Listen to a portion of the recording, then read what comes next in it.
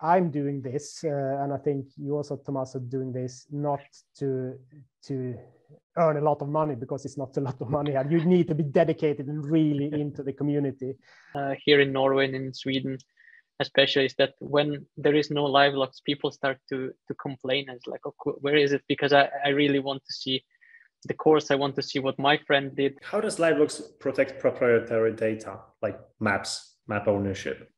So what we see now in the orienteering community, and we have seen for the last like five, six, seven years, that most maps are geo-referenced because we are using LiDAR when producing the maps and so on. So everything True. is set up.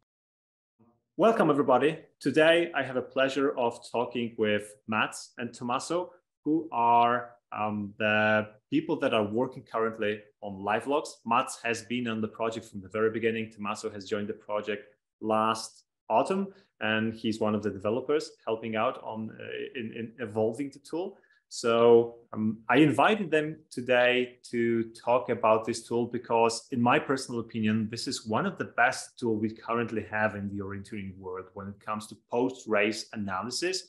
Not the only one, definitely, but um, the one that has a very small entry barrier. And it's you know when I when it was first introduced to me, I was so in love with how the process of adding my track to the tool works and how seamless it is that I definitely at that point in time decided that I'm going to do everything in my power to make this tool as popular as possible. And we kind of did it together with my brother just came in in Poland. And I think the tool has been um, developing in terms of the range of users that are using it in Poland quite well recently. And uh, and we will definitely keep pushing on. And since I have uh, I have started this channel and uh, the channel has also a, a reach outside of uh, Poland and many people from different countries are watching the videos. I thought it will be quite an amazing thing to show you guys um, Livelox if you don't know it, how it works, what it looks like, and what benefits you can get out from it. So uh, we've already had some small chat that will go to the Patronite page uh, before we start this main part. And I've learned some interesting things already. Uh, for example, that Mats is the father or developer of many other tools that I have been personally using in, in my orienteering journey as well, like uh, WinSplits, like QuickRoute. So this already has been amazing. If you want to watch the Patronite part, then check out the Patronite in our link below. Also, if this is your first time to the channel, we will be talking about orienteering, running with the map and compass, an amazing sport. And if you want to explore more, there are lots of videos on the channel already. So just go to the video section and see what you can uh, find over there, what interests you. And in, with this, I want to welcome you guys uh, officially, Matt, Tommaso, uh, to the chat. And uh, I will start kicking out with the questions that I've prepared for today's interview or today's chat. Thanks. Nice yeah. to be here.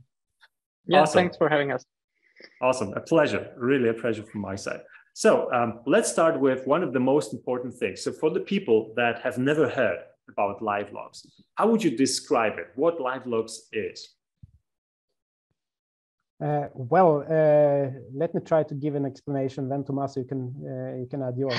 Uh, but basically, it's um, it's a software platform uh, where you can see where you have been running uh, during your orienteering race. Um, you use your GPS watch, your sports watch that almost everybody uh, have now, uh, and you record that one, and then you you transfer your GPS data to Livelox, and then the, that uh, uh, your route will be shown on the map and the course uh, on on the web, so you can look and compare to others.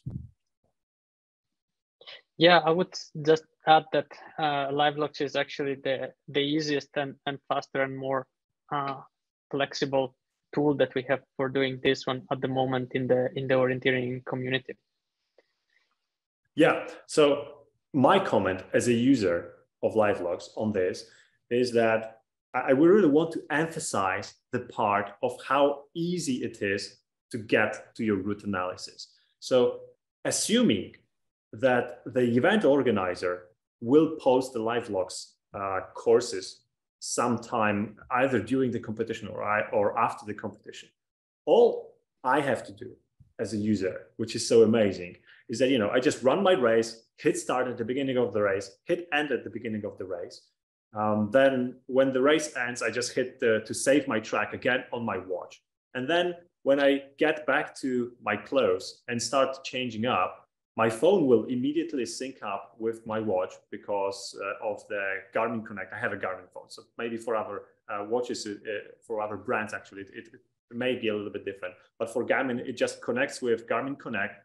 The track gets uploaded to the database, and because Livelox can be connected with my Garmin account, which I did, then my course immediately goes to Livelox. And as soon as the event is published on Livelox, I just can, can go to Livelox, enter my events, and it's right there. I just click it and I can go to the analysis. No need for any photographs of the map, no need to do anything. I basically just record my race, synchronize it with my phone, and I'm done. And that's the part I love the most, I think. yeah, and that's the part that is also necessary for people that might not be as enthusiastic orienteers like we are uh, to contribute and to add their uh, their tracks. And that is what makes the tool great because many people are using it and then it's uh, you will have even more possibilities to analyze.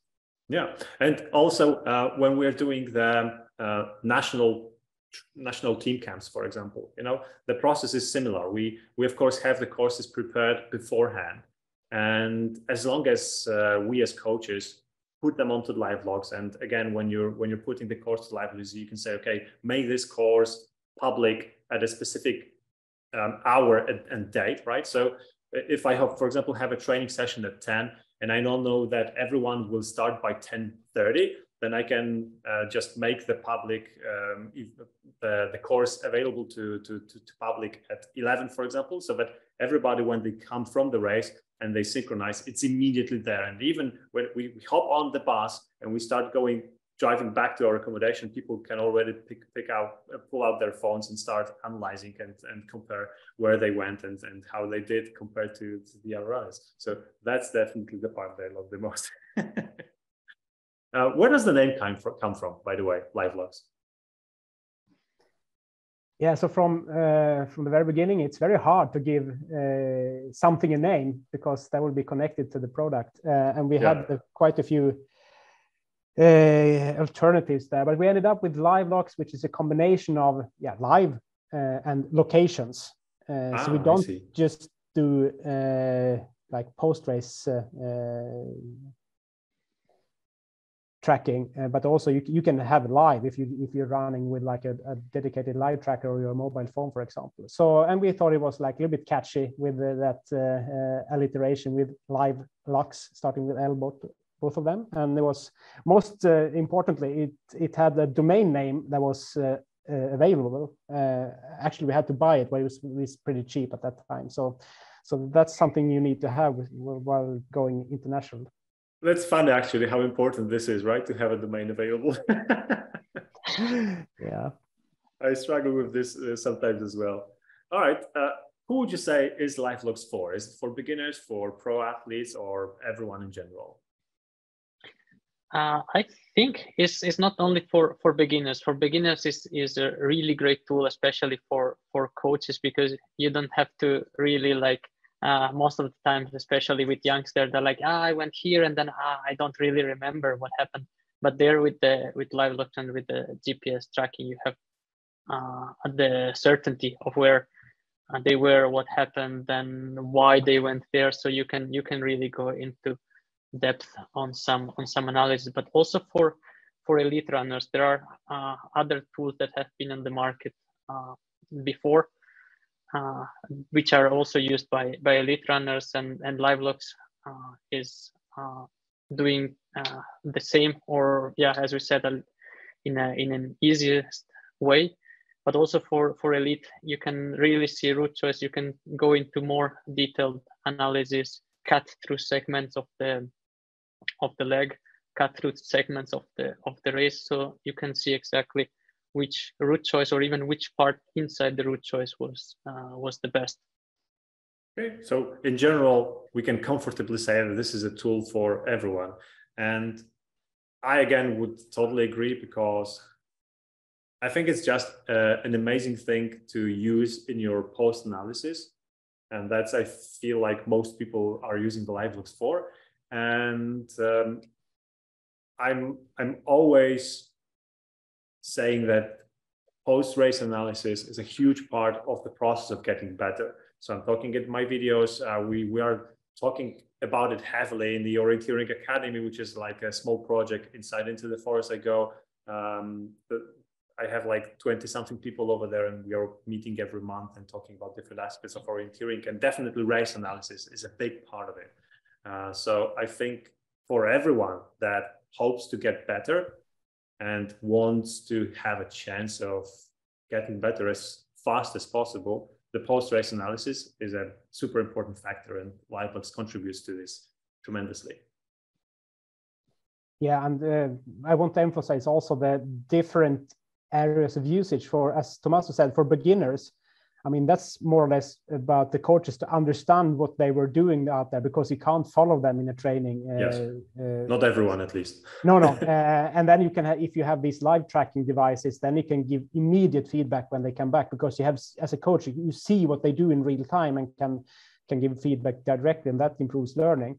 But for elite orienteers, and I can refer to that myself because I was in the Swedish national team for a few years, then it's all about to, to chase those small seconds that that makes exactly. a difference. And then you go really deep into details and try to understand how you can improve and what how to act in different situations. And and then you you use it in a little bit of a different way. But uh, regardless if whether you are a, a beginner or a, an elite athlete or or like a veteran or or a young runner you can get something from it. Yeah yeah absolutely. Um, how has Livelox impacted the orienteering community from your perspective? So we talked a little bit, uh, a little bit, a little bit earlier about the feedback, and you said that the feedback has been tremendously positive. Uh, how, how do you think the tool itself uh, impacted the community in general? I think it gives uh, it gave access to the to the analysis also to people who were not really like uh, going through the analysis or they thought they were not interested into the analysis and into the routes. But then having this one available, then they really started to to love it and and demand it because what we have uh, seen both uh, here in Norway and in Sweden, especially, is that when there is no Livelox, people start to to complain. It's like, oh, where is it? Because I, I really want to see the course. I want to see what my friend did, how I perform, how I compare to to that one. So I think what we see now is that part is uh, really part of the orienteering experience. So the event is not complete if there is no no Livelox. Yeah, and I would like to add also that in a general trend in in the society in general that uh, and and like endurance sports, we have Strava that has been really influential, and everybody yeah. more or less uh, are there, and it makes at least for orienteering, it makes our sport, which is a little bit hard to understand and to grasp and to, to see what happened, it makes it more visible and understandable in some way, both for for the people that are, are orienteers themselves, but maybe also for their their friends and so on. It, it gets more understandable uh, and see what really happened out there in the forest. Yeah, totally agree. I I, I love the summary that um, Tommaso gave that the competition is not complete without Livelox. I really like it because I'm definitely one of the people who think that, you know, and whenever I go to the competition and I don't see a Livelox after the competition, I, I always, you know, wait for half a day at least to make sure that I'm not pushing too many buttons. But then I'm going to the Facebook page of the organizer like, when is Livelox going to be available? yeah, and that's uh, I think that is something that takes a little bit of time. So I want to say that you can prepare your Livelox uh, uh, data and add it to our service like well in advance. It will be yeah. protected there and it won't be uh, released until the, the time you, you decide. Uh, so you can do a little bit of pre-work there as an organizer. We all know that it's really, really busy during the race day. Yeah, exactly. So this is what we do when we're preparing training camps. All the Livelox are, already there. And we basically, during the training camp, we don't have to do anything regarding it. It just publishes itself automatically at the set um, times and days. So definitely the same uh, can be done for, for the competition. And I, and I also want to say that, you know, I, I know that I'm probably a little bit annoying to some people by doing this, but at the same time, I think it benefits really everyone uh, in terms of the people that are attending the competition for the reasons that Tommaso said. We can just you know see how other people ran compared to one another and spot our mistakes more easily. So it, it's it's definitely helpful when you have every everyone's track in one place rather than spread out through several different places or some people not available uh, online and you, you can't see where they went anyway uh, that doesn't benefit you at all yeah and um, the gps tracks it's they are of the highest interest right immediately after the race right yes. Uh, you don't want to wait for it uh, for two days because then you forgot a bit and then there's the next thing going on in your life so so you want it here and now so yes. we, we really see that demand, as Tommaso said. All right, cool. Uh, let's move on. Mm, how does Livelox compare to other software platforms um, that do the similar thing for orienteering? Um, what sets it apart? I think what we briefly discussed before is the the fact that it's, it's really easy, it's really fast to to upload your your GPS tracks uh, all the other services around they require you to uh, go inside your Strava, inside your Garmin Connect, export your GPS uh, GPX uh, file, upload it there. If the organizer didn't upload the map, then you have to upload yourself the, the map, the course. So it's um, is a lot of steps to go through, and what uh, Livelox does, and what uh, I think we are working to improve uh, every time is to make it more easy and more fast so that you really don't have to uh, do anything and everything is is there available i uh, when we discuss with Mats i like to, to tell that it has to be something that my mom can do and she's not tech person she would not spend time to download the, the gpx and upload it and find the folder yeah. so it needs to be very fast and very easy okay um, is there any competition on the market that you would say it's like uh, an alternative to Livelox right now? Yeah, yeah for sure. Yeah. Uh, uh, there are products, uh, and it's a little bit of different use uh, areas of usage. Uh, and what differs, I would say, from Livelox to other products, most of other products are free and provided more on a on a like hobby basis. Um, but I've I, and I've been doing that myself, like with releasing open source software like uh, like QuickRoute. But at the end of the day, uh, when you uh, put so much time uh, in it, you need to to um, provide a paid service at some point to to get it to be uh, sustainable over time. Uh, so I would say we are taking a little bit more, let's say, high level service uh, approach, whether other free services they are there, uh, but you have to do a little bit more work yourself, and it's not automated in the same way. Um, so that might be a difference. I think we will get there later uh, because I have a question about uh, different pricing tiers for Livelox. Uh, but if you don't pay anything, I think that the access to Livelox is not blocked for you, and you can use it to some extent anyway, right? Exactly. Yeah. Right. And even for so the event organizers, they don't have to pay to post the event on Livelox. And the individual user also doesn't have to pay to go and watch himself or other people's tracks. But there are some limitations when it comes to having no license to it, right? Right. Uh, so what we offer, we, we can go into the details yeah, later. Yeah, we, we can go it, but but shortly, it's it's a freemium service. So we offer uh, something for free, but if you want the whole package, you you got to uh, sign up for a subscription. Cool. So let's let's go to the details of it later. But I just wanted to emphasize that even if you don't pay anything, you can still use Livelox to some extent. Um, okay. Can you discuss any new features or updates that are currently in development of, for Livelox? um, or that you hope to add in the future? And I'm smiling because that's probably going to be exciting. yeah, uh, yeah, we have uh, we have a few ones. Uh, where should we start, Tommaso? Yeah, I, I think the one that were requested by by Johan. So to have some kind of a more social social way on the on Livelox at the moment is just you in front of the of the computer doing your things. But we would like, uh, and and is a little bit maybe uh, call it time consuming to find your friends.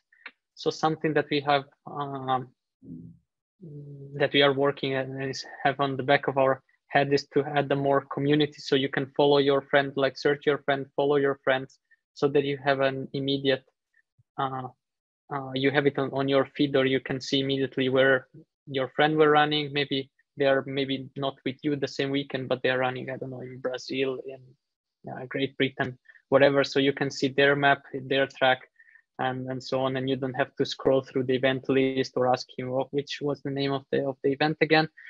Uh, to have something something like this. I think this is one of the of the features that will come up. Yeah and another one uh, would be some kind of uh, uh speed adjusting algorithm so let's say uh, that I am much slower than Tommaso, but I still want to compare the technical performance and then uh, we are trying to find an algorithm that speeds me up a bit and uh, lets uh, me have the same like base speed as Tommaso. And then we can really see what the uh, time difference are uh, technically. Uh, he will run ahead of me like half a minute on a short leg otherwise. But now when we are speeding me up in Livelox, then we can see those things, which I think will be very fun for those ones that maybe didn't do their winter training so well.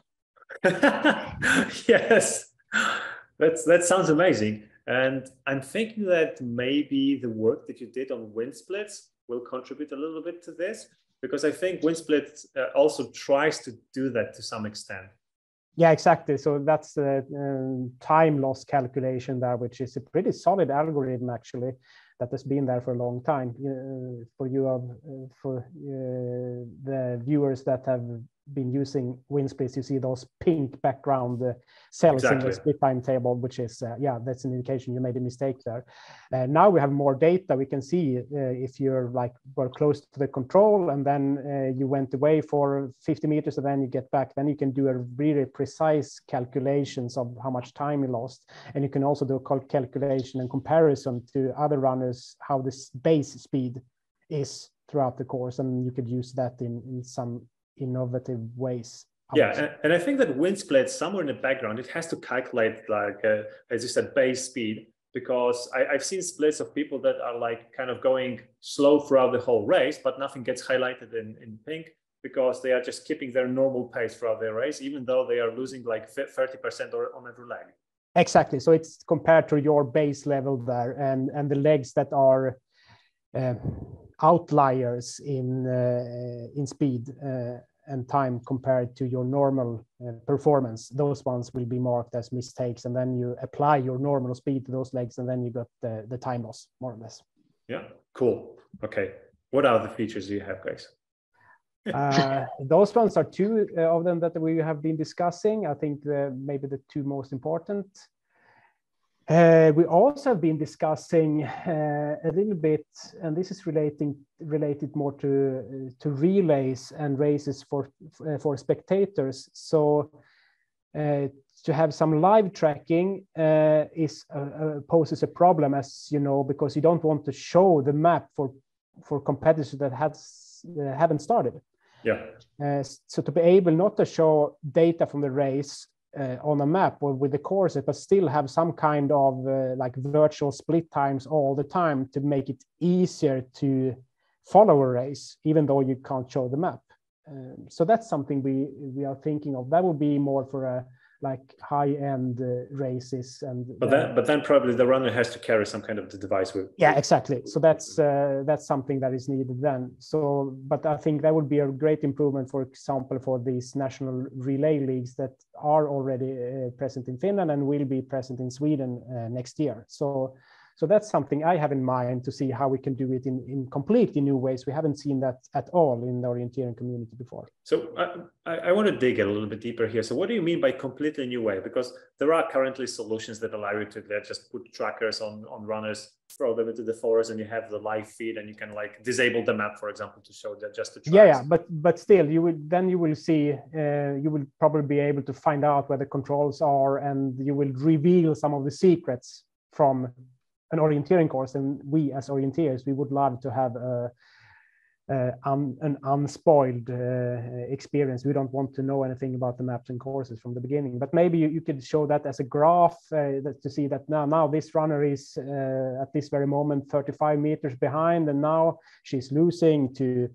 Uh, to one minute behind, and, and I see. So this not, is how not really, not really a tracking, not really a tracking even with the blank map, but actually some different form of showing how the runners are performing uh, without actually showing the direction that where they are turning and so on. exactly. To show information that is relevant and interesting for you as like a teammate or spectator uh, but still not reveal anything. And i haven't found uh, a good uh, like final solution to this or, or how to visualize it. So i think we are really happy to receive any feedback uh, on how such a feature would be implemented Interesting. Ne- never thought, never thought about it, but yeah, definitely interesting.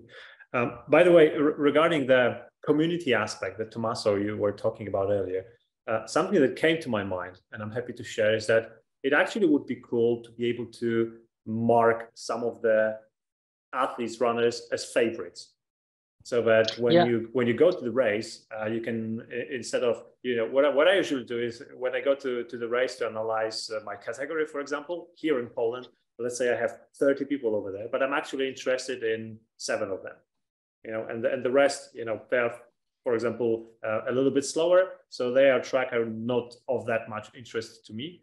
Uh, and if I could favorite some runners and then just uh, somewhere at the top, instead of unselect and select everyone, I had of another button, select just my favorite ones, that would definitely be helpful. I'm, I'm writing down. okay.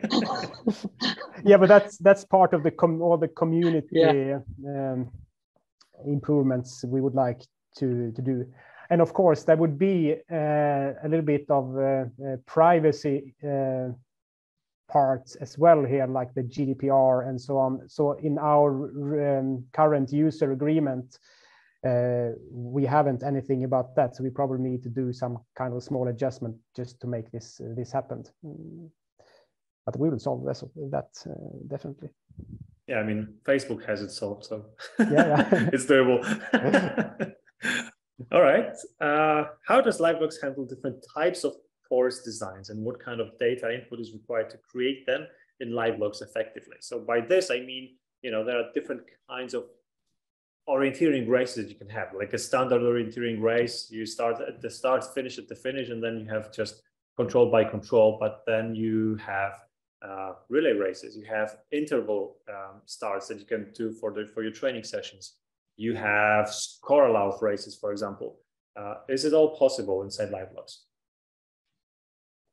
Yeah most of the different types of uh, races or events are supported uh, but you might need to do a little bit of uh, tricks to get it to work in these special occasions. Uh, so for a like a standard event where you have unforked courses uh, one course per class and so on then it's uh, very straightforward and we have Sure. automated the, the process there. But you can you can do score uh, orienteering or rogaining. Uh, you can do relays you can do these like special maps like corridors and so on. Uh, so it, it's possible but uh, then you you need to be a little bit creative in some sometimes and honestly uh, it's very hard to compare when you have like different loops and butterflies and and to be able to get something out of that because uh, then it gets really complex uh, as it is What kind of input is needed to create a course in Livelox? Yeah, I think, and this one is part of the make it easy uh, mentality. So you can you can really put like directly the the OCAD file, and then LiveLog will recognize that when you can import some uh, XML file from Purple Pen from OCAD. You can also upload directly from OCAD and, and condense with the with the latest uh, OCAD. You there is an uh, direct integration, so you can do everything from from OCAD. You don't even really have to export or or save anything from from there. So we have yeah some some good integration in in that sense. So there are many formats that you can you can uh, use and upload, and and then if Mhm. you want to have a very nice a view with the background, all your logos and so on. You can also import your uh, the uh, course print or JPEG and, and PNG of the of the map so that the, the layout stays uh, as it is. Of course, it requires a little bit more uh, work. Is not just simply put the map, put the course, and that's it. You also have to go export those ones, import that one, but it's some extra to make it more uh, fancy, let's say. But I mean, uh, it, it, the like export import, it's probably for this last part when you want to go with the JPEGs. I also, I, I think that then you also have to calibrate the map, right? Um, properly. You can export directly. I'm on, I talk about OCAD because it's the one that I that I use the most. You can export uh, from OCAD the JPEG file and then this JPEG uh, text file so that uh, will kind of maintain the uh, I see. Yeah, the georefer yeah, the georeferencing. And uh, so what we see now in the orienteering community, and we have seen for the last like five, six, seven years, that most maps are georeferenced because we are using LiDAR when producing the maps and so on. So everything True. is set up to, to be exact. Uh, and then it's very smooth. You don't need to do any calibrations and, and say that this part of the map uh, uh, is connected to this part in a satellite image and so on, like uh, you do otherwise. Um, so that helps. Yeah, true. But um, I also I also like that there is a possibility to calibrate the map when you have like a PDF or a JPEG.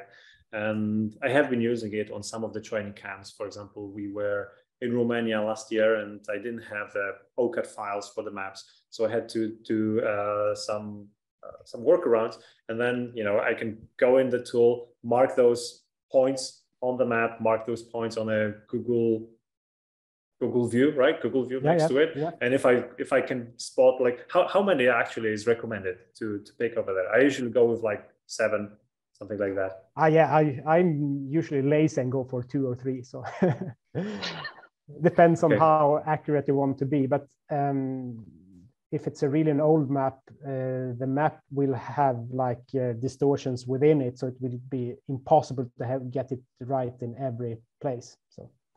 Yeah, yeah. I, I remember that if I went with two or three points, sometimes it wasn't exactly right in all the areas of the map. So then I started to go like some some points all around the map, and I usually settle on, on about seven.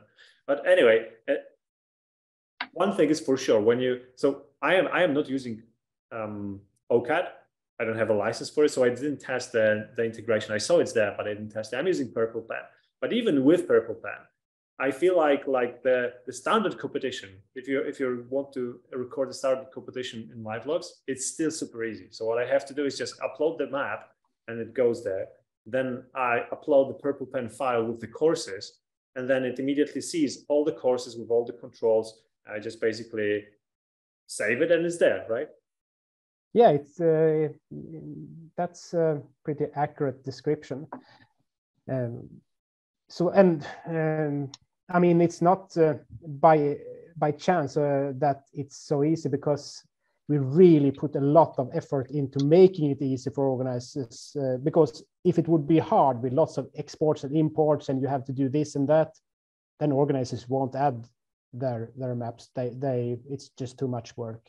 Yeah and the same thing for uh, also for participants to add your uh, your routes it has to be super easy otherwise people won't do it and then it won't take off and you won't see much usage. Only the nerds will do it. Yes. All right um, let's go back to livelox tiers and talk about them a little bit. So what tiers do you have and what are the differences between them? And what is included in the free version of livelox yeah. Okay. So in in March we actually uh, released some some new uh, features and and we changed a little bit this uh, this structure. As uh, Matt mentioned previously, uh, Livelox is freemium, so you get some some features for free. For example, you can see one track at the time, either your track or someone else's track at the time, and and the longest leg in the in the dual feature but then if you want to compare more track at the same time and and have this uh, dual feature for all the for all the legs inside the inside the course, then you need a personal subscription, which uh, stands for some uh, 50 euros per, per year at the moment.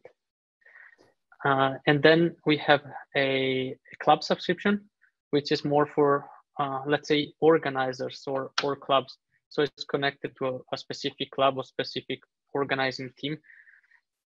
And uh, by uh, you can either uh, buy some five uh, live tracker and then is is included, or then for for 300 euros per per year, all your trainings and and smaller uh, uh, local competitions are included. So you see all the tracks at the at the same time. You can compare in the leg analysis uh, all the tracks at the same time, but there is still a restriction for this dual feature.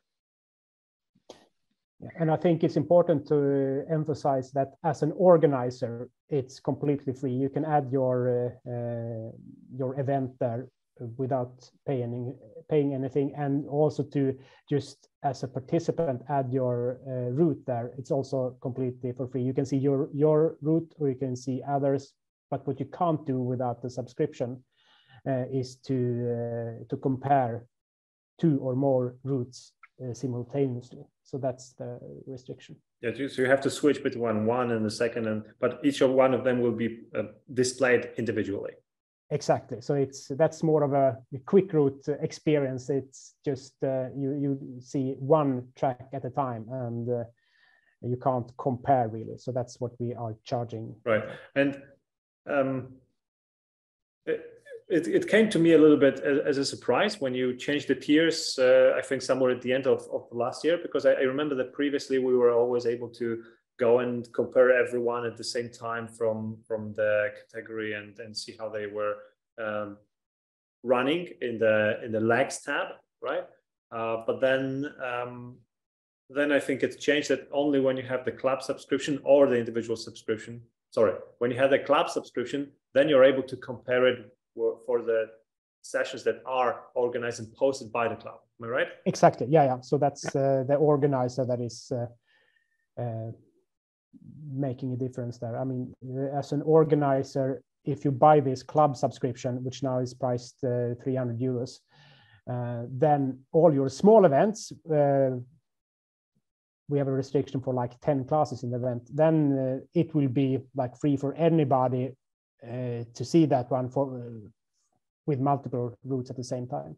Yeah, so it, it works perfectly for you know clubs that organize their own trainings, and then you want to post the training online and have everyone be able to analyze it. Exactly, and it's also important to mention that we uh, during the pandemic we have had like a free offer for mm, for most countries outside of of Scandinavia. Uh, it's only Sweden, Norway, and uh, Australia, the Eventor countries, uh, all the other countries has been on a, like a, a, completely free because we wanted to show the product and we we wanted to also attract users to see what it is. And now we are gradually uh, transitioning to a paid model, which will be in effect from August on. So if you're outside Scandinavia at the moment, you can still do most of the things for free, but in, in August we will start to charge uh, and have like one unified model for the whole world.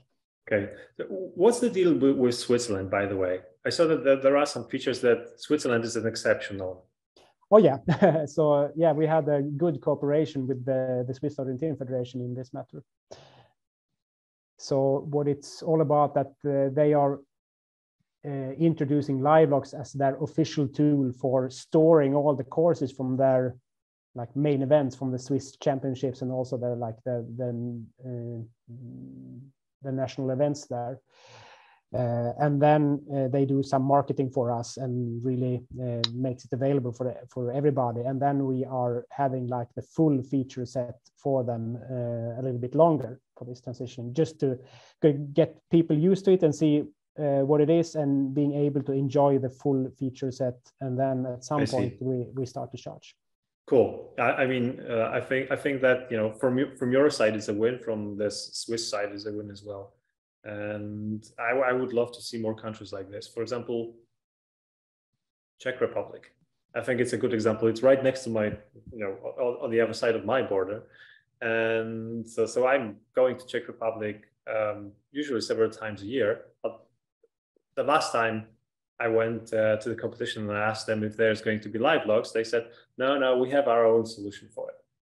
And and yes, they do have their own solution. It's not awesome. I'm not afraid to say it. It's not awesome. And the courses were published like a week after the event. Yeah, so I already forgot about it totally. Uh, yeah, I, I, didn't like it at all. So, you know, let, let me the, just guess what uh, how that is set up, and that is not to blame uh, like that system, but it's probably because it's not that easy to add the, the map and, and the courses as an organizer. So you have maybe to email some guy that does it for you, and then it will be a delay. Uh, and, and, it's not like a, such a big uh, feature set that we provide, and then it's maybe not that interesting, and it's harder also as a participant to add things. So, so that's why it's not really taken off there, I suppose. But I mean, I'm also part of this. I, am biased in this uh, sense definitely but i'm not. So i can i can say as a user that i didn't enjoy uh, the other tool as much as i, I enjoyed Livelox and you know if, if someone from czech republic is watching you guys you can push some buttons on your side. As as a swiss team demonstrated uh, there are things to to be gained from cooperating yeah, and actually, what Tommaso has been focusing on since he joined the team in uh, uh, last October is just to reach out to countries outside of our uh, like home market of Scandinavia to, to explain what Livelox is and to help organizers and, and to get it started. And we actually see now this spring has been really amazing in that sense that many people are picking it up in in, uh, in several countries to, to uh, so we see it uh, is growing there. Um, and also one important thing uh, is that in Sweden and Norway, it's uh, Livelox is so well integrated in our uh, event calendar, which is Eventor. Uh, so so then it's it's easy to see it there. It's next to result list, the result list. There will be Livelox links, so people are getting aware of that Livelox exists, and in that sense, everybody will gain from it because there will be more tracks added and so on. So uh, we would like to do that also in other countries, but we also know that maybe some countries don't have the resources to provide a national event calendar with those kinds of integration. So it's it's like a, a balance there. Sure. Yeah, absolutely. Um, what are the most common problems people have with using the tool? Yeah, we have one support uh, section where where in case of some some problem, some issue or or whatever, people can can reach out to us and we can either support to set up the event if, uh, for example, you cannot really do it, you have some problems, so you can email there or if you see any any uh, problems or something. But uh, if I have to pick one uh, thing that is like recurring and is kind of connected to Livelox, but not directly connected to Livelox is this Strava API. Because sometimes when we have a lot of, like if it is a weekend with a lot of uh, tracks going on, so uh, we have a certain limits that Strava allows us to to upload every every 15 minutes. So it can be that during that half an hour there is like a lot of tracks, so your track will be queued after after many uh, uh, other tracks. So you don't see it uh, immediately. So that can be a little bit annoying. We we know this one. We are actually reaching out to to Strava, and they answered just some last week maybe something like this that they are updating their their developing developer uh, program so that's something that we are we are constantly working and uh, we hope to to solve uh, as fast as possible because we know that it can be uh, a little bit annoying when your track is not immediately there. Yeah, and I can understand the problem because usually the competition starts at the same time everywhere around Europe. so like uh, 10 o'clock is the beginning of the competition and from 11 to 12 probably there's a peak where people are uploading. Yeah definitely. And we see that also in like uh, tuesday and thursday evenings in sweden are the like um, the popular training times and then we see the same queuing. And it's really unfortunate actually with this strava. They are not super helpful i would say to uh, for services like ours that has been growing uh, quickly and then we are still on the limits that were suitable like five years ago but they don't increase it for us and then we got stuck in this situation but we hope it will improve when they launch their new developer program later this year so uh, so bear with us. Uh, I would like to add another problem that we can see. It's also uh, um, not really connected to Livelox as is, but it's the issue of creating multiple accounts, user accounts. So then you add one user account at some point, and you add your Garmin Connect or Strava to that one, and then you forgot your login details. You create another account, and then you you lose uh, those uh, uh, connections and you don't understand why. And then they reach out to us and we help them to like just merge those uh, multiple accounts. But that's uh, that's something that we is pretty common, I would say. Okay, okay, got it. Um, how does Livelox protect proprietary data like maps, map ownership? I think it might be important for the competition organizers as well very important. That's maybe the most uh, important responsibility that we have uh, as uh, as event organizers uh, or as as software providers to provide for event organizers. And uh, well, I can. I've been event organizer myself. I've been organizing Swedish championships and course setter for O-Ringen and so on. So I know the importance uh, there, and we also know that at some point it has happened that maps and courses have been published way before they should just by uh, by accident and that gets huge consequences it was the european champs in portugal right where where they just published the wrong map 2014 i think uh, i think so yeah i, I know some cases that happened in poland too okay yeah yeah and uh, so that's very very important but usually when those things happen it's they it's a human error uh, more or less. It's not yes. the problem of, of a software. But what, what we can control is to make it super easy uh, and super uh, clear when the maps and courses will be published, the time and date. Maybe we can be even clearer to say just a weekday. Uh, we don't do that, but uh, that might be uh, if you enter the wrong date, you can still say, "Oh, my race is not on a Saturday; it's on a Sunday." Um, so, so those things. but when it comes to like basic computer security and so on, we have like two-factor authentication with the administrator accounts, and we have uh, like reviewing the uh, the security uh, from a computer and software point of view. But I think the most important is to make it clear for users so they understand when to when the maps are published and, and so on. But it's also a shift. Uh, I mean, to publish your map on the internet and virtually anyone can make a screenshot and use the map and go around themselves there. And maybe that's not so good when it comes to landowners and so on. Yeah. Uh, and it's different in different parts of the world. We are lucky in Sweden to have a pretty uh, uh, liberal view on uh, sure. rights to, to, land, but that's not the case in every country. So, so it's a little bit like common sense, I would say, for that part. Uh, but from for us, as I said, it's really important to have uh, good protections and maps shouldn't leak out to people that shouldn't see them. But that's a shared responsibility of of um, course setters and users, uh, organizers using good passwords and don't share accounts and so, so on. So it's like what you should do uh, as a user of online services uh, generally.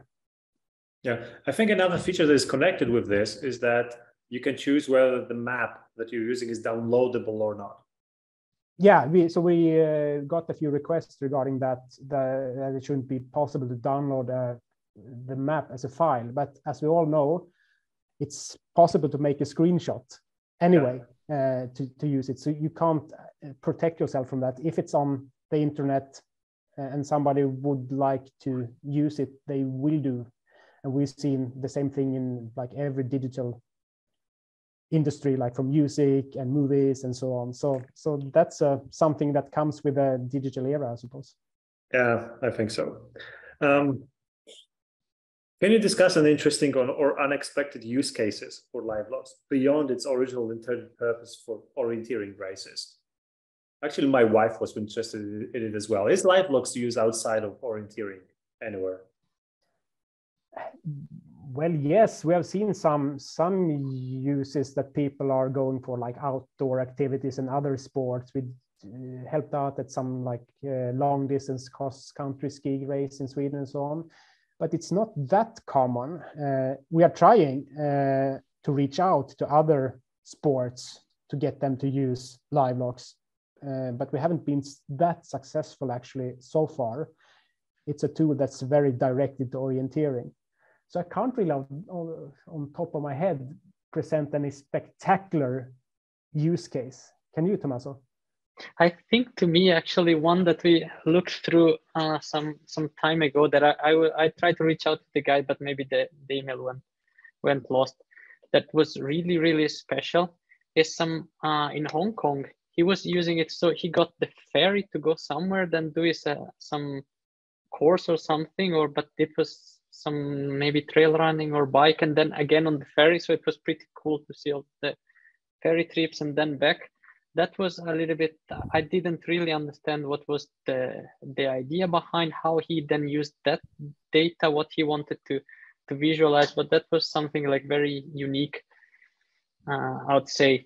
And then i think i saw it at least in norway here. It was used a little bit with this uh, ski mountaineering uh, randonnée in the in the winter. So they, they basically went up to to the mountain and then come down. And so you can see all the different tracks of, of people uh, going up but 99% at the moment is either orienteering or uh, rogaining yeah I, I wouldn't expect otherwise because it i think that the, the biggest value that it brings is for post race analysis and uh, the other sports are maybe more focused on online um, tracking right and since there are many other tools for this it's probably hard for you guys to squeeze into that space yeah and orienteering is quite uh, special because it's maybe one of the only sport where you have you don't have a course to follow so it yeah, is your exactly.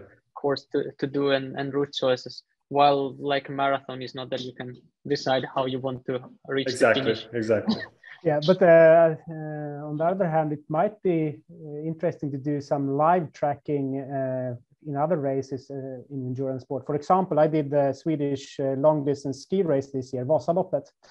And then i put my this um, live tracker in my pocket which was really good because my partner she could follow me along the course and drive the car and, and cheer for me and she knew where i was all the time and could be really like precise uh, and uh, that's not the case for most people going there and help out and share for their uh, uh, for their friends who are doing the, the ski race so that's something that we might think of in the future, but that also requires this live tracker, or that you have our mobile app that is doing the live tracking. Got it. Got it. All right. Uh, so I would love, uh, and I talked about uh, this with Tommaso also before you came in, Matt. I would love for us to also record a tutorial on how to add a relay race because I think that this is the part where uh, many of the organizers are struggling with. So I, am not going to go into the details of like uh, or specifics of something tricky like interval training, uh, but I have a question about that. So we, maybe I will ask it later. But I think it it, uh, uh, it would be awesome to have like um, a recording somewhere available online of how to um, go through registering a relay race so that the competition organizers have it a little bit easier when it comes to doing it by themselves. And since I have this amazing opportunity of having you guys here, I don't have to record it myself. I can ask you as experts to just explain everything from uh, from the beginning uh, to the end. So if you're willing to do that, I know that Tommaso, I asked him before the, the we started the recording. I know he has some files prepared. So Tommaso, you can share the screen yeah, I think I think uh, Mats, Mats, you had this. Yeah, this actually, relay. I uh, have yeah. I have prepared a relay uh, cool. race, so uh, I can try to. Let me know if you can share the screen. If not, I will yeah, give you the uh, permissions. Let me see. Yeah. Uh,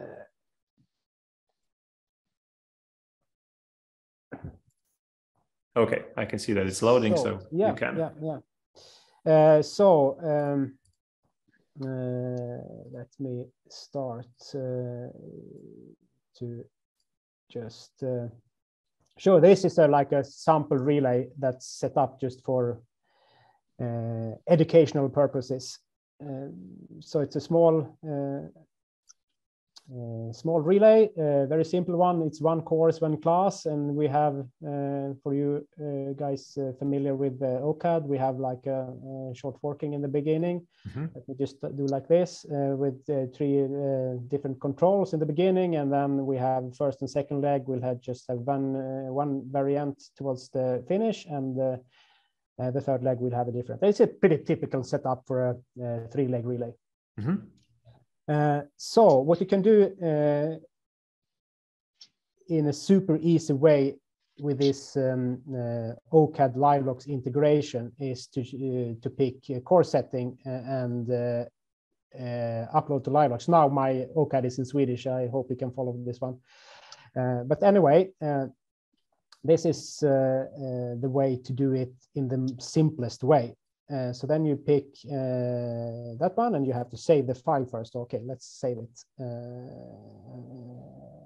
okay, there you go. Uh, and uh, then you got to this window in, in OCAD that gives you the possibility to set the quality and so on. So most of these would be just pre-selected. And what you do is to click this control button to just see that this is this is fine. And then you go for, for upload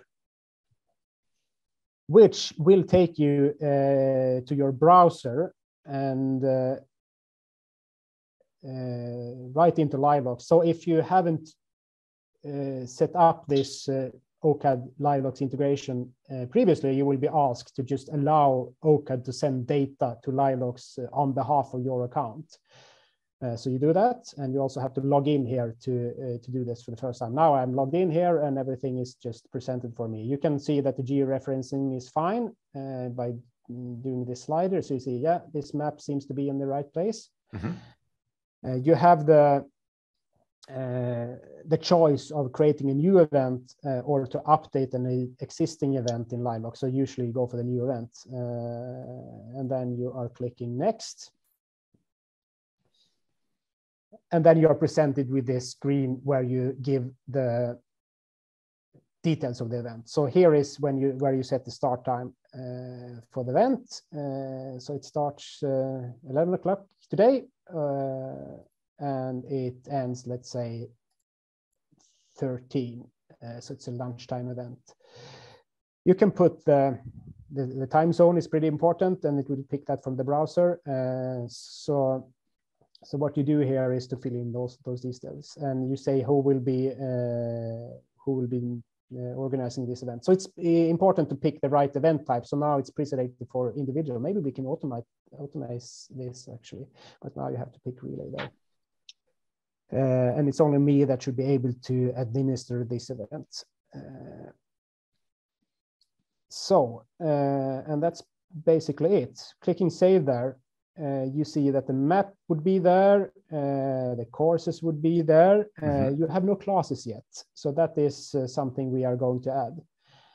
Uh, one important thing to notice here is that the access restrictions.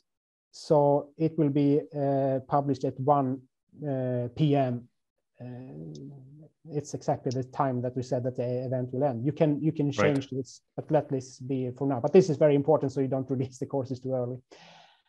Uh, but let's go there and edit, uh, or just go edit there, and there will that will be more of a uh, way to see that everything is nice. Uh, oh, sorry, that was the map. Uh, I wanted to check the courses. Uh, so the courses uh, so this is like the, the forking that we have. And for a relay, we all know that it can be like a hundred variants of forkings. And to make things efficient, LiveLox would just pick the ones that are like spanning the whole forking tree, as I like to express it, so that every like control and every leg uh, of each course will be included, but not necessarily all the variants. So not yeah, and I think it makes sense. AAB, AAC, and so on. Yes. uh, but just the ones that are needed to to like make the whole course tree. Uh, you can see the controls and where they're placed. So this is just for like previewing features and you see what courses you're using. You're, what you are most concerned about is to go to the preview one. Uh, where you see all the controls, you can also see all these courses and you can, uh, can get a nice uh, view of it. And if we zoom in a little bit here and check the details, you can see that this looks nice because we have these cut lines and cut control circles that uh, resembles the race map the most. And uh, at least for me that's important like uh, uh, aesthetically to have it like that because then uh, it's not yeah it, it, looks nice. The control numbers are in the right way. So that's all everything is included there from OCAD and that is something that comes in these course print files like everything that's purple on the map more or less is included in this special file you don't get that if you have just this XML file upload that you did previous to this right. uh, to this um, uh, OCAD integration. Anyway, things are looking good there. Uh, so let's just cancel that one. We don't do any changes. And now uh, you have to set up the classes uh, and assign the uh, the courses to each class. Normally, you don't need to do that for an individual race. Then you are asked, do we want to create one course, one class per course? But here it's a little bit different because you have so many forkings. Uh, so you go to classes and uh, you add one class. Uh,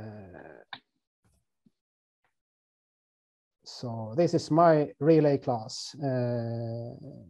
and there are three legs here.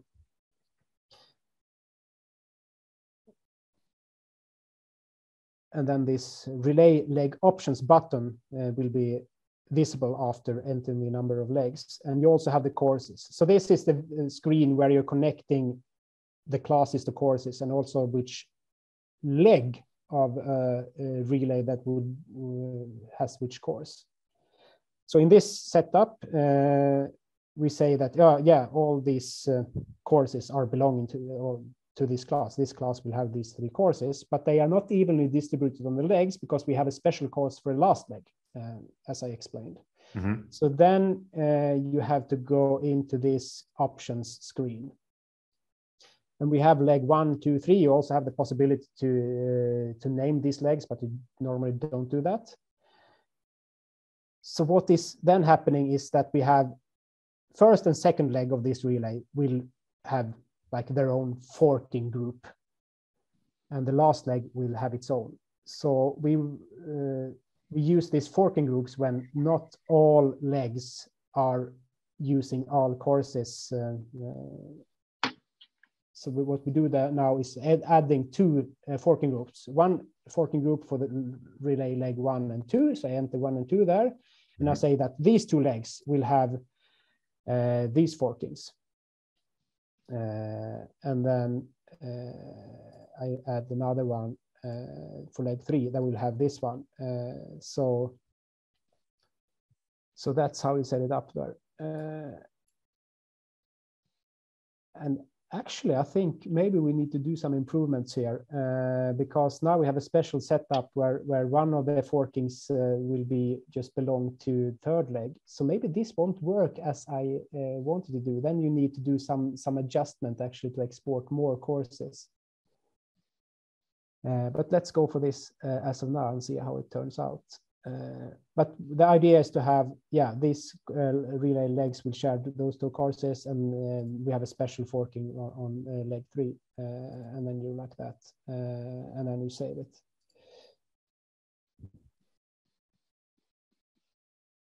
Uh, and then you can uh, what you can do as an administrator now i am administrating this one so i can go just show here and then you can see that uh, what you get that only you can access these ones until the the, the time of the event uh, and you see that we we can do a either a replay of all legs we can do leg one individually, leg two individually, uh, and leg three individually. But also leg one and leg two, they are using the same courses. So it's of interest to compare those two ones to each other. So you can mm -hmm. compare leg one runner with leg two runner. Yeah, sure. Yeah. So so that's basically it. Uh, and if you now go to to this one, you can you can show uh, how leg one and leg two uh, looks like, and then you you get it. Uh, and as I said, yeah, we probably need to add also the leg uh, three variant because we just have two forkings here. So that's actually something we have to improve. But anyway, I think you get the, the main uh, idea there, how to add a relay uh, event to Livelox.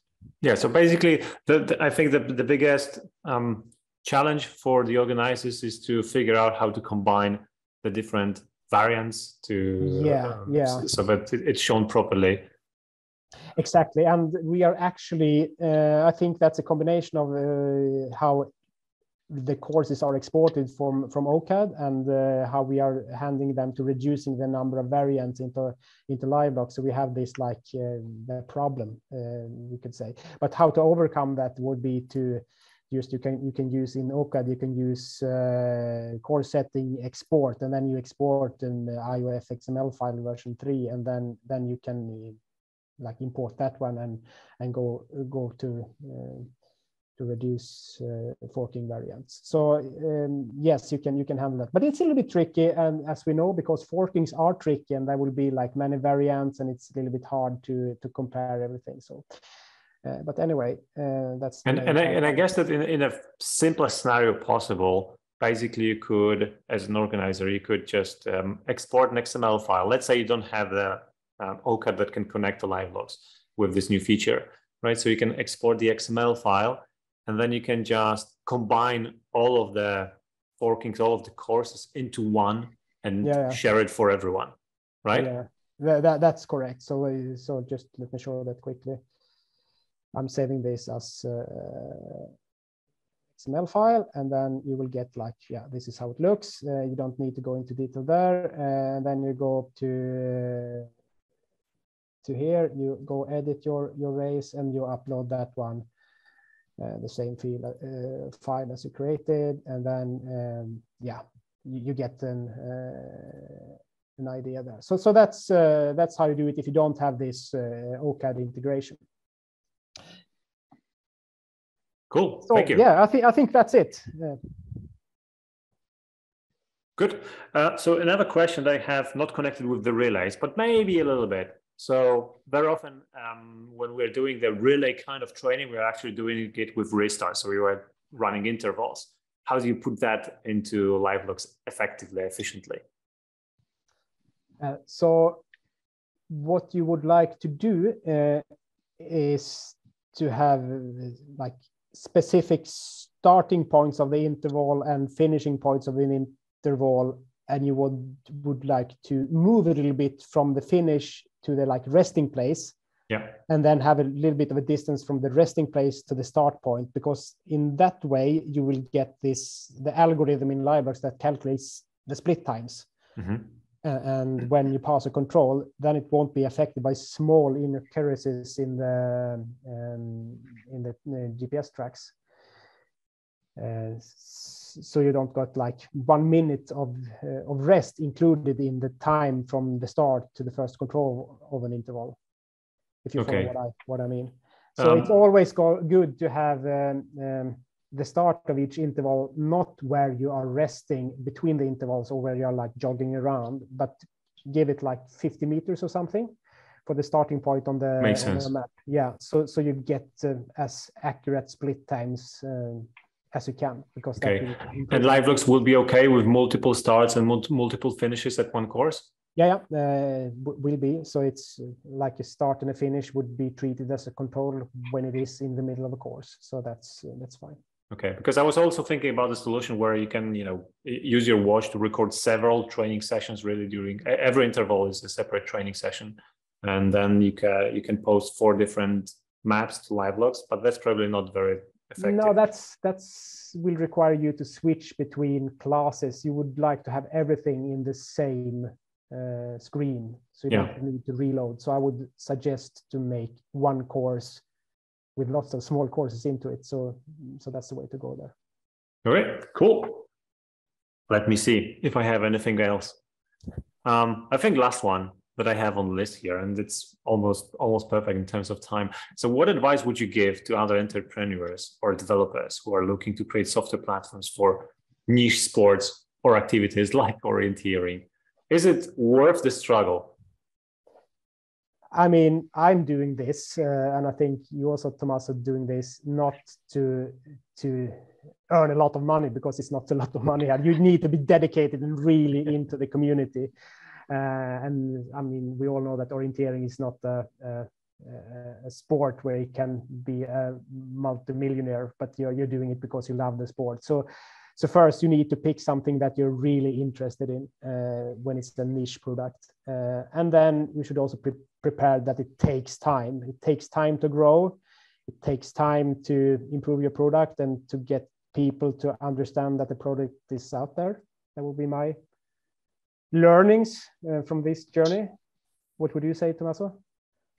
yeah i think i think it's just a lot about about passion i think because uh, is uh, is what it takes. Is not is not so many uh, people also taking part in orienteering. For sure, if you do something with like some running, I'm thinking about this uh, park runs that they have uh, every week.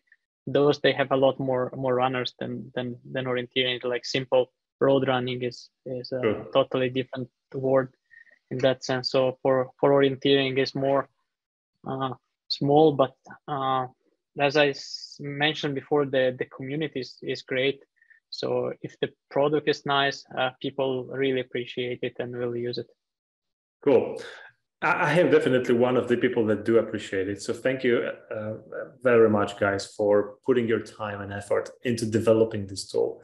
Uh, I'm a, I'm definitely a big fan, and nobody had to convince me to to this. I just saw this tool, tested it once, and I'm like, wow, I want to use it every training I have. I also want to um, thank all the organizers that are actually taking their time to put those events into Livelox so that we as runners users can enjoy uh, the analysis later on. I think this is super important as well. Um, amazing time, guys, amazing chat. It was so nice meeting you and learning uh, everything that we were talking about uh, regarding Livelox. Some bit of history, uh, some bit of uh, history of other tools as well. That that was definitely surprising, Mats. So uh, all in all, um, it's been definitely a blast for from from my side. Thank you so much for joining, and hopefully we will have more opportunities, maybe somewhere in the future, to uh, talk again, maybe even cooperate. Who knows? Thank you very much. It's been a pleasure to be part of the show.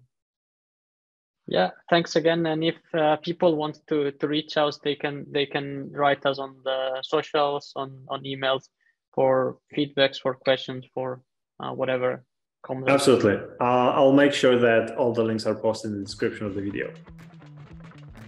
Thanks again. Thank you.